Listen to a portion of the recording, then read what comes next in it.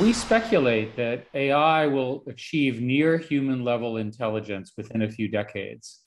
And when we say near human, we don't mean the same as human. And the book is a lot about how humans will coexist with this artificial intelligence. And in particular, what does it mean to be human? Dr. Kissinger got involved with this because he concluded that the age of artificial intelligence is of the same significance as the transition from the age of faith to the age of reason, where humans hundreds of years ago learned how to be critical reasoning beings. The impact of having non human intelligence that is with us, controlling us, changing us, is not understood, and we're not ready for it as a society. Remember that this is technology that we've never seen this combination before. It's not precise, it's dynamic, it's emergent in that when you combine it, new things happen. But most importantly, it's learning as it's going. So you get all sorts of problems. Imagine that the system learned something today, but it didn't tell you or it forgot to tell you, and what it learned was not okay with you. Imagine if your best friend for your kid is, in fact, not a human, but a computer, and your kid loves this computer, in the form of an AI assistant or what have you, or a bear or a toy. And the toy learns something and it says to the kid, Hey, I learned something interesting.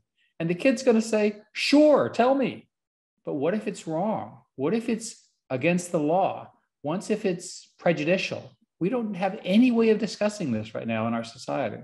Do you think that when we're talking about, for example, the exposure of young people to these algorithms we don't understand, do, do, governments need to come in and say, actually, we need to significantly constrain what the exposure needs to be? Well, we just ran this experiment in the form of social media.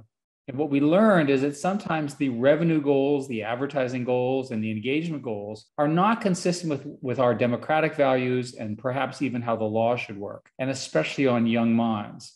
We worry a lot in the book that AI will amplify all of those errors it will, of course, do amazing things as well, which we talk about. But a good example here is we don't know how to regulate the objective functions of social media that are AI enabled. Is the goal engagement? Well, the best way to get engagement is to get you upset. Is that okay?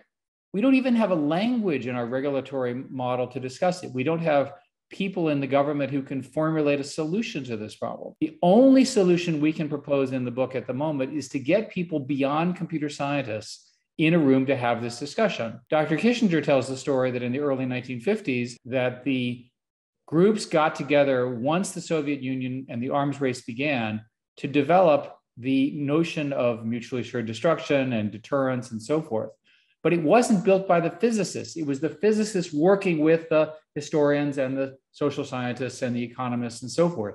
We need the same initiative right now before something bad happens.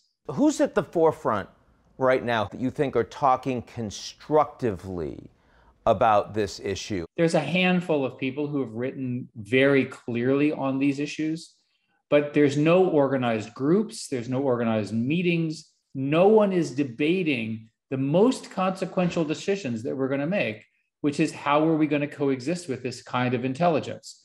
And I want to be very clear that we know this intelligence is going to occur in some way. We just don't know how it will be used. 30 years ago, with the advent of the internet, we knew it was going to happen, but we certainly did not know that once we connected everybody in the world, we would have all these problems.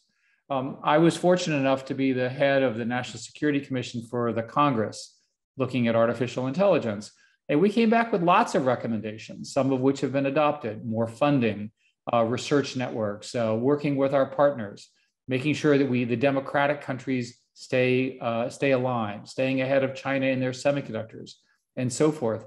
There is no coherent group in our government, or at least in our civil society in the West, that's working on this.